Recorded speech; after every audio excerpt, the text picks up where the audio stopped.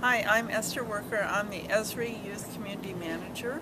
And I get to work with the best educators in the world. Those are the non-formal educators, like the environmental educators, youth serving organizations like 4-H and Scouts, Campfire Girls, things like that, and then the after-school programs that many cities and YMCAs have.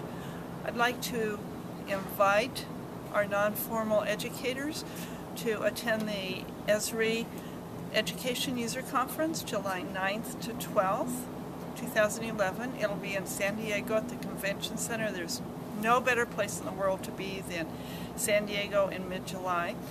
And while we're there, we'll have not only the standard education sessions, but the education uh, sessions that focus on what non-formal education is doing with GIS technology. You also get a chance to meet some of the um, educators that are doing this and also some of the youth because we'll have some 4-H kids there as well as maybe some scouts and some other um, students from different organizations. They'll be able to talk to um, user conference attendees specifically about what they're doing in their community with GIS technology in an after-school program have the opportunity to really engage in some community investigations, some scientific investigation within their own community.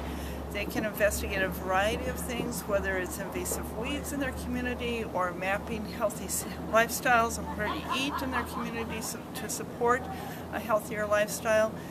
Um, they also get involved in civic um, efforts, so they're often presenting to the city council or a local organization about the um, efforts that are happening in their community that the kids are involved in.